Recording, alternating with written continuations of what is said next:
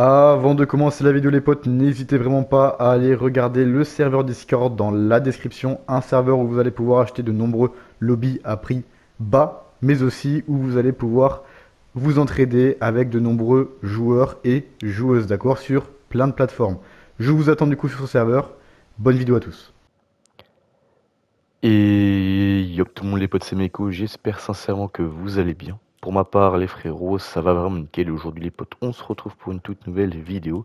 Et dans cette vidéo, je vais vous présenter un tout nouveau glitch d'argent freeze avec le second personnage.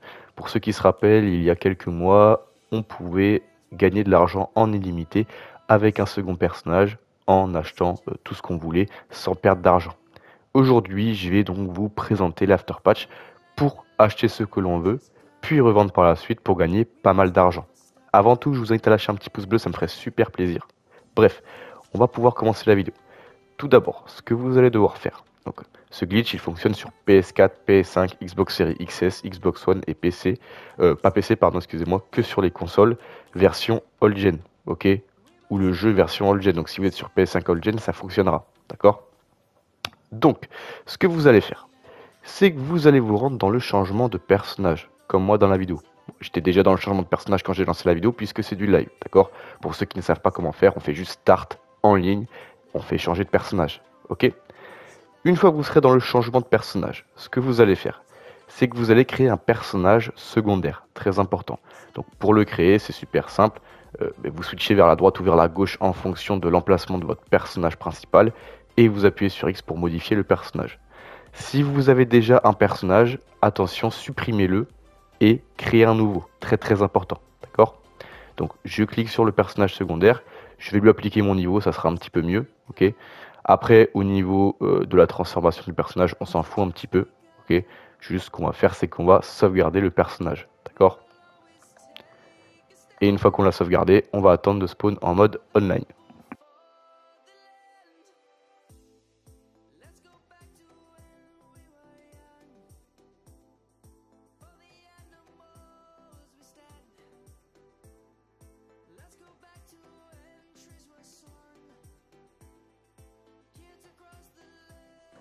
Une fois qu'on sera en mode online, ce qu'on va tout simplement faire, c'est qu'on va ouvrir le menu Interaction, on va se rendre dans Préférences et on va tout simplement mettre l'apparition au niveau du garage qui sera fourni en fait avec le personnage secondaire.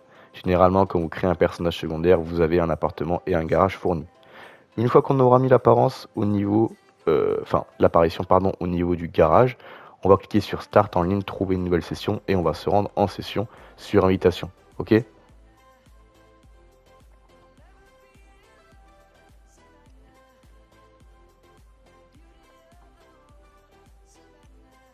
Une fois qu'on aura spawn dans le garage, on va tout simplement sortir. Ok? Et donc là, ce qu'il va falloir faire, c'est trouver un véhicule bénisse dans la rue. Ok? Pour ceux qui ne savent pas à quoi ressemblent les véhicules bénisse, je vous invite à ouvrir le téléphone, vous rendre sur internet, voyage et transport, transport pardon.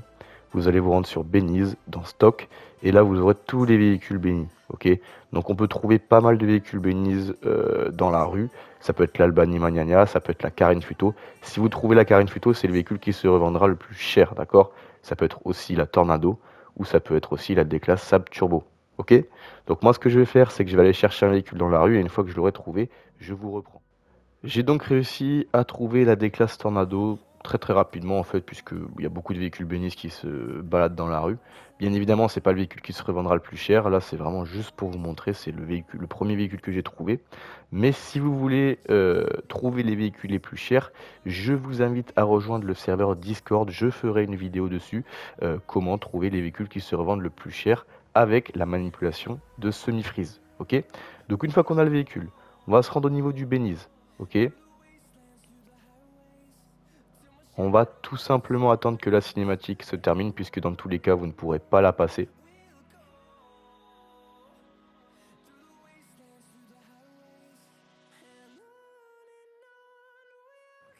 Maintenant ce qu'on va faire c'est qu'on va cliquer sur réparer le véhicule et on va transformer le véhicule, ok? Donc hop, Tornado Custom, transformer. Et maintenant vous n'avez plus qu'à customiser le véhicule au maximum.